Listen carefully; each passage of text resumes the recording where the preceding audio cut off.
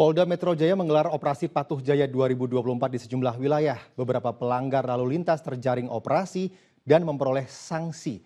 Nah, untuk, untuk informasi lengkapnya sudah ada Putu Bagus di kawasan Tugutani, Menteng, Jakarta Pusat. Baik Putu, silakan dengan laporannya. Ya, Rian dan juga pemirsa untuk operasi Patuh Jaya ini berlangsung hingga dua pekan ke depan, tepatnya hingga Minggu 28 Juli 2024.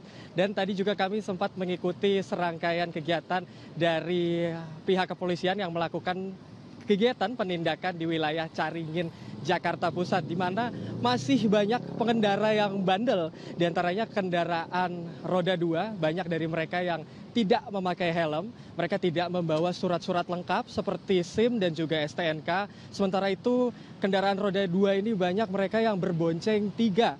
Ini tentunya tidak diperbolehkan karena dikhususkan hanya untuk dua orang saja. Sementara itu untuk kendaraan roda empat banyak dari mereka juga yang melakukan pelanggaran tidak membawa surat-surat lengkap.